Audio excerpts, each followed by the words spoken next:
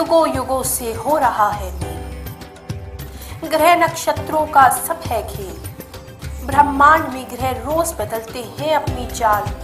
आइए जानते हैं, इस हफ़्ते कौन सी राशि होगी माला माल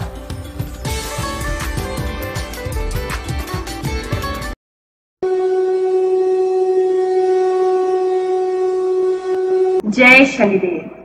प्रिय भक्तगणों, मैं बनी आप सभी का स्वागत करती हूँ हमारे शनिपीठ मंदिर अड़तीस बटा अठारह ईस्ट पटेल नगर नई दिल्ली से। आप सभी को बहुत बहुत धन्यवाद और कॉन्ग्रेचुलेट भी करना चाहती हूँ, क्योंकि हमारे चैनल को केवल और केवल आप ही के कारण आज YouTube से एक अवार्ड प्राप्त हुआ है, जिसे गोल्डन क्रिएटर्स अवार्ड कहते हैं। ये जो अवार्ड है, हमारा गोल्डन अवार्ड है, मैं आप सभी लोगों को डेडिकेट करना चाहती हूँ, क्योंकि आपके बिना ये संभव नहीं आज मैं आपके सामने उपस्थित हुई हूँ राशि फल देने के लिए। आप में से बहुत से लोग मुझसे रिक्वेस्ट करते हैं, गुरु माँ, हम राशि फल के बारे में जानना चाहते हैं डेली हमारा समय कैसा जाएगा, उस बारे में जानना चाहते हैं। तो इसलिए मैं आपके लिए आज का राशि फल लेकर के आई हूँ। और ये तीन दिन का राशिफल होगा, यानी कि आप जान सकते हैं कि अगले तीन दिन आपकी लाइफ में कैसे बीतने वाले ये जो राशिफल है, ये चंद्र कुंडली पर आधारित है, ज्योतिष की गणनाओं पर आधारित है और साथ में मुझे जो देवी शक्तियों से संकेत प्राप्त होते हैं, उन सभी पे ये आधारित है। उसके अनुसार मैं आपको राशिफल आपके तीन दिनों का बताने जा रही हूँ। साथ ही मैं आपको एक कहानी भी अंत में बताऊँगी, इसलिए इस वीडियो को अंत तक देखें। अपना राशिफल सुनने के बाद उस छोटी सी प्यारी सी कहानी को सुनना ना भूले, जो आपके जीवन को बदल के रख देगी। दूसरी ओर राशिफल तो केवल एक बहाना है, क्योंकि मैं रोज़ाना आपसे मुलाकात करना चाहती हूँ। मैं जानती हूँ, आप लोग मुझे याद करते हैं, आप लोग मेरे संपर्क में रहना चाहते हैं, और मैं भी आपको बहुत याद करती हूँ। इसीलिए मैं आपसे जल्दी जल्दी मिलने के लिए ये तीन दिन का राशिफल आपके लिए लेकर के आई। अगर आपने हमारे ये चैनल गुरु रजनी शशि जी अब तक सब्सक्राइब नहीं किया है तो आप तुरंत ही इसे सब्सक्राइब कर लीजिए। और बेल का आइकन घंटी का आइकन दबाना ना भूलें, ताकि ऐसे ही अच्छे वीडियोस आप तक मैं लेकर के आ सकूँ। मैं विजय विजयदशमी की, एवं दशहरे की आप सभी को हार्दिक बधाइयाँ प्रदान करती हूँ। साथ ही रावण ने मरते समय अपने अंतिम क्षणों में क्या कहा और लक्ष्मण जी को क्या ज्ञान प्रदान किया, वो राशिफल के बाद एक कहानी के माध्यम से मैं आपको बताने जा रही हूँ, इसलिए हमारे साथ जुड़े रहिए हमारे वीडियोस को देख करके, हमारे पेटीएम नंबर पर, या हमारे वीडियो में जो अकाउंट डिटेल भगवान शनिदेव का जो मंदिर का अकाउंट है, उसकी अकाउंट डिटेल को देखकर, आप में से बहुत से लोग हमारे कार्यक्रमों के लिए, यज्ञों, महायज्ञों के लिए, प्रसाद वितरण जो हर शनिवार हम करते हैं उसके लिए, या गरीब लड़कियों को जो हम एजुकेशन देते हैं, उस सब के लिए समय समय पर आप लोग कुछ ना कुछ बिना मांगे ही दान दक्षिणा भेजते रहते हैं। आप में से बहुत सारे लोग तो उसमें डेली ही हमको पैसे भेज रहे हैं। अपनी डेली इनकम का कुछ ना कुछ हिस्सा भेजते रहते हैं। उस सभी के लिए मैं आप सभी को बहुत बहुत धन्यवाद करती हूँ। आपका आभार व्यक्त करती हूँ और भगवान शनिदेव से प्रार्थना करती हूँ। आप सभी लोगों को सुख, शांति, समृद्धि, सौभाग्य और जीवन में जो भी आप चाहते हैं वो प्रदान करें। और साथ ही ये कहना चाहती हूँ कि आप अपना नाम हमें अवश्य ही भेजें, ताकि आपके नाम से हम पूजा भी कर सकें। चलिए बात करते हैं हम सिंह राशि की। सिंह राशि वालों के लिए सात, आठ और नौ, ये तीन दिन अक्टूबर के कैसे जाएँगे, चलिए जानते हैं। ये तीन दिन सिंह राशि वालों आपके लिए कुछ मिले जुले रहेंगे। आपको एक और तो नई ऊर्जा, उम्मीद पॉजिटिवनेस और अच्छा स्वास्थ्य प्राप्त होगा, आनंद भी प्राप्त होगा, सौभाग्य भी प्राप्त होगा। लेकिन दूसरी ओर आपको मानसिक रूप से ऐसा लग सकता है जैसे आपको बहुत संघर्ष का सामना करना पड़ रहा है, तनाव आपकी काम में आ रहा है। ये समय आपके लिए जो है मिला जुला रहेगा। बहुत समय से किसी व्यक्ति के साथ अगर आपका मन मुटाव चल रहा था तो उस मन मुटाव को भूल करके वापस एक हो जाने का अच्छा समय आ गया है। आप फिर से अपने संबंधों को मधुर कर सकते हैं। अगर आप पहल करेंगे तो अवश्य ही आपके संबंध फिर से अच्छे हो जाएँगे। अगर आप स्टूडेंट हैं तो पढ़ाई के मसले में ये समय आपके लिए बहुत उत्तम है। अगर नौकरी पेशा है, नौकरी करते हैं तो इस समय में आप बहुत कॉन्फिडेंट रहेंगे। आपका कार्य करने का एक अलग ही स्टाइल होगा, जिसे देख आपके साथ काम करने वाले जितने भी कर्मचारी या आपके बॉस है, वो सभी प्रभावित होंगे। आपका स्वास्थ्य जो है, वो इस समय अच्छा रहेगा। आपको प्रसन्नता और उत्सव दोनों की ही समय में प्राप्ति होगी। आप इस समय में कोई उत्सव मनाने के लिए भी जा सकते हैं, चाहे वो पारिवारिक हो या सामाजिक हो। अगर आप कोई बिज़नेस करते हैं तो इस समय में अपने बिज़नेस को लेकर के आप किसी बड़ी या लंबी यात्रा पर जा सकते हैं। वो यात्रा आपके लिए शुभ रहेगी। अगर आप स्पोर्ट्स लाइन में है, कुछ खेल खेलते हैं, खिलाड़ी हैं तो इस समय में श्रेष्ठ प्रदर्शन आप करेंगे और सम्मान प्राप्त होने की भी आपको पूरी पूरी संभावना है। प्रेम के मसले में बात करूँ तो आपका जो लव लाइफ है, इस समय में वो अच्छी रहेगी। अगर आप इन्वेस्टमेंट करना चाहते हैं, कोई निवेश करना चाहते हैं शेयर मार्केट इत्यादि में तो 8 तारीख जो है 8 अक्टूबर, ये दिन आपके लिए श्रेष्ठतम रहेगा। जितने भी अविवाहित लोग हैं, जिनकी अभी शादी नहीं हुई है तो कोई विवाह का प्रस्ताव भी इन दिनों में आपको प्राप्त हो सकता है। इस समय में अगर आप अपनी फैमिली लाइफ को अच्छा करना चाहते हैं तो इस समय में आप अपने लवर को या अपने जीवन साथी को कोई एक गिफ्ट ज़रूर दें, उपहार ज़रूर दें तो उसे पाकर के सामने वाला आपसे बहुत ही प्रसन्न हो जाएगा। सिंह राशि वालों, अगर आपको लगता है कि आपका घरेलू जीवन बहुत ही तनावग्रस्त हो गया है, आपका जो पर्सनल लाइफ है वो अच्छी नहीं चल रही है तो ऐसी स्थिति में आपके स्क्रीन पर जो नंबर आ रहे हैं हमारे, उन पर आप हमारे यहाँ संपर्क करें और अपनी कुंडली के अनुसार, अपने प्रेम से संबंधित या अपने विवाहित जीवन से संबंधित प्राण प्रतिष्ठित एवं मंत्र स्थित राशि रतन रिंग बनवा करके आप अपने हाथ में धारण करें, जिसे पहनने से निश्चित रूप से आपका जो पर्सनल लाइफ है, उसमें बहुत ही सुधार होगा। मैं जानती हूँ, आप में से बहुत से लोग परेशान हैं। इस संसार में बहुत से दुख हैं और उन्हीं दुखों को दूर करने के लिए यहाँ आपकी गुरु मारुकुनी उपस्थित मैंने अपना जीवन आप ही की सेवा में इसीलिए लगाया है, आपके कष्टों के निवारण के लिए इसीलिए लगाया है ताकि आप सभी के कष्टों को मैं दूर कर सकूँ। मैंने अपने जीवन में संन्यास धारण किया, अपने केशों का त्याग किया, बालों का त्याग किया। ये सोच लिया कि मुझे अपने जीवन में अपना कोई परिवार नहीं चाहिए, विवाह नहीं करना, शादी नहीं करनी, बच्चे नहीं करने, केवल इसलिए ताकि आप सभी लोगों को सुख, शांति में प्रदान कर सकूँ। जो भी आत्माएँ तड़प रही हैं, कष्ट में हैं, मैं उन सभी के जीवन को बेहतर कर सकूँ। यही मेरे जीवन का अब एकमात्र उद्देश्य रह गया है। भगवान की कृपा से एक अच्छे घर में हमारा जन्म हुआ। भगवान ने बहुत अच्छा पढ़ाया, लिखाया एमबीए भी किया। लेकिन फिर भी मनुष्य के दुख मुझसे देखे नहीं जाते। इसीलिए मैं आप सभी की सहायता के लिए इस कार्य में आई और मैंने संन्यास धारण किया ताकि मेरा ये जीवन आप सभी लोगों के काम आ सके। और आज पिछले कई वर्षों से हमारी ये संस्था शनिपीठ मंदिर, नई दिल्ली। यूट्यूब पर ही देखेंगे तो 10 साल से हम यहाँ पर यूट्यूब पे अवेलेबल हैं।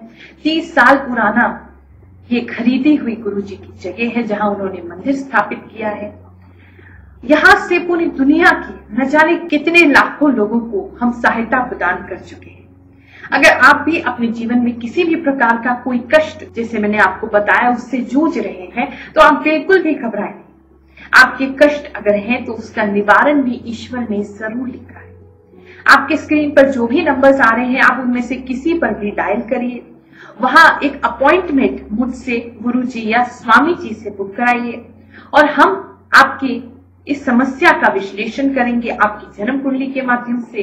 जिसकी जन्म कुंडली नहीं है, उसके चेहरे के माध्यम से हम आपकी समस्याओं का निवारण करेंगे। लेकिन इस सेवा को लेने के लिए एक छोटी सी फ़ीस हम लोग चार्ज करते हैं। क्योंकि ये जो संस्था है, इसे हमने चलाना है और बढ़ाना भी है। आज अगर हम कुछ लोगों की सहायता कर सकते हैं तो हम चाहते हैं आने वाले समय में हम लाखों लोगों की सहायता कर सकें। क्योंकि आज जितनी हमारी सामर्थ्य है, जितना भी हमारे पास इकट्ठा होता है, वो हम अच्छे कार्यों में लगाते हैं।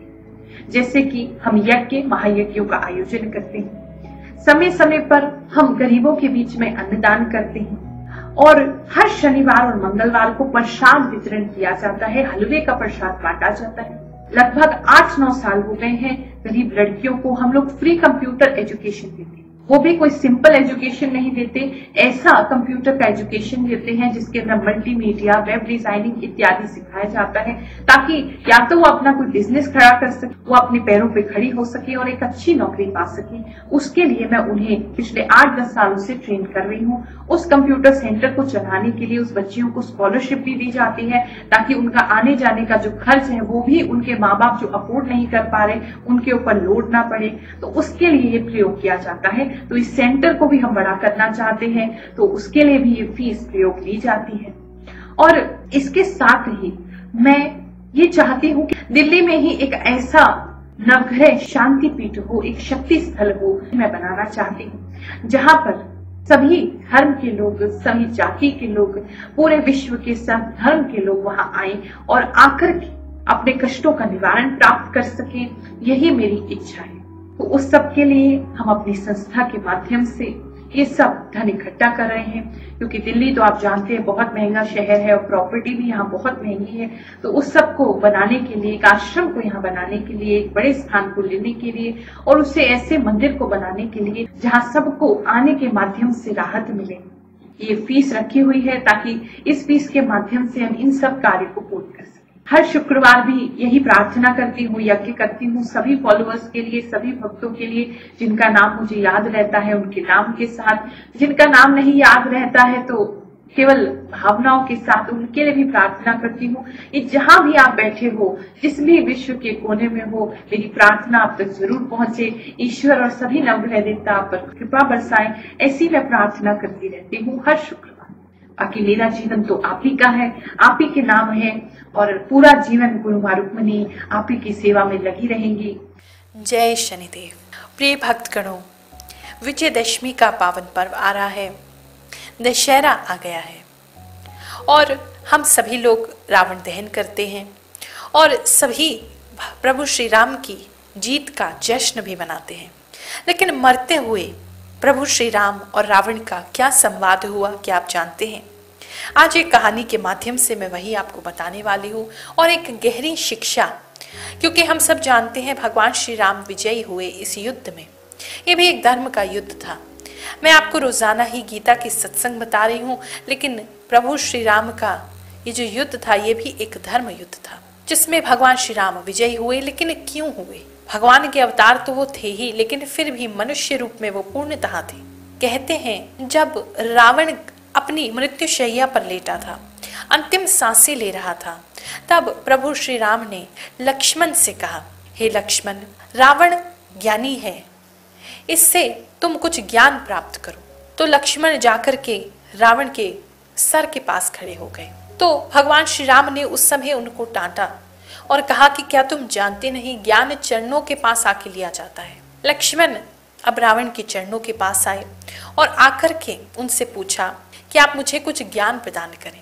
तो रावण ने ज्ञान तो दिया ही, लेकिन साथ में एक प्रश्न पूछा है कि मुझे इस बात का उत्तर दीजिए श्री राम, कि मैं कुल में आपसे श्रेष्ठ। रावण ब्राह्मण कुल में जन्मे थे और भगवान श्री राम क्षत्रिय कुल में जन्मे थे। तो वो कहते हैं, मैं ब्राह्मण होने के नाते कुल में तुमसे श्रेष्ठ। मैं इतना बड़ा ज्ञानी पंडित क्योंकि रावण उन्होंने कई ग्रंथों की भी रचना की है। कहते हैं, लाल किताब भी उन्हीं की एक रचना है। तो वो ज्ञानी थे, पंडित थे। तो वो कहते हैं, ज्ञान में भी मैं तुमसे आगे, सेना में भी तुमसे इतना आगे। क्योंकि रावण के पास भी बहुत विशाल सेना थी और प्रभु श्री राम के पास तो वानर सेना थी। मैं भक्ति में भी तुमसे श्रेष्ठ। दोनों ही श्री राम और रावण, दोनों ही शिव भक्त थे। और रावण को तो कई वरदान भी प्राप्त थे, जिसमें से एक उनके दशानन होने का, यानी दस सर होने का वरदान था, यानी नौ जीवन दान उनको प्राप्त थे। तो इतना सब होने के बाद भी, हे श्री राम मुझे ये बताइए, मैं तुमसे हार कैसे गया? तो प्रभु श्री राम ने केवल एक ही उत्तर दिया है कि, हे रावण, तू चरित्रहीन, मैं चरित्रवान। हमारे जीतने का केवल यही एक कारण है। और यही सबसे बड़ा कारण है।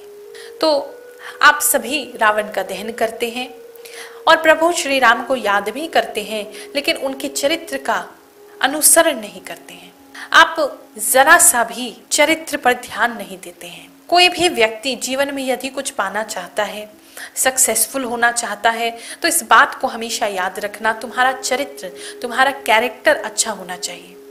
अगर मन में तुम्हारे छल कपट है, अगर मन में तुम्हारी सच्चाई नहीं है, दूसरों के प्रति अच्छी भावना नहीं है, दूसरों को धोखा देने की इच्छा होती है या झूठ बोलने की इच्छा होती है, दूसरे को ठगने की इच्छा होती है, दूसरे को बेवकूफ़ बनाने की इच्छा होती है और उससे तुम अपना धन का भंडार भरना चाहते हो तो असंभव है। इस बात को हमेशा याद रखना, अगर तुम्हारा चरित्र अच्छा है तो माता लक्ष्मी तुम्हारी आवास करेगी, अन्यथा उठ करके तुम्हारे यहाँ से वो चली जाएँगी। आई हुई लक्ष्मी भी तुम्हारा साथ साथ नहीं देगी इसलिए इस बात को सदा याद रखना, जीवन के इस युद्ध में अगर विजयी होना है, पराजित नहीं होना तो अपने कैरेक्टर पर, अपने चरित्र पर ध्यान दो।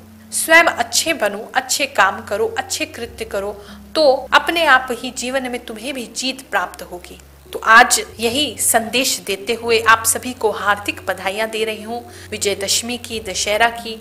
बोलो राम राम राम सिया राम राम राम बोलो राम राम राम सिया राम राम राम बोलो राम राम राम सिया राम राम राम बोलो राम राम राम सिया राम राम राम इसके साथ ही आप में से बहुत से लोग मुझसे प्रश्न करते हैं कि गुरु माँ हम असली राशि के रत्न कहाँ से लें ये आप हमें बताइए।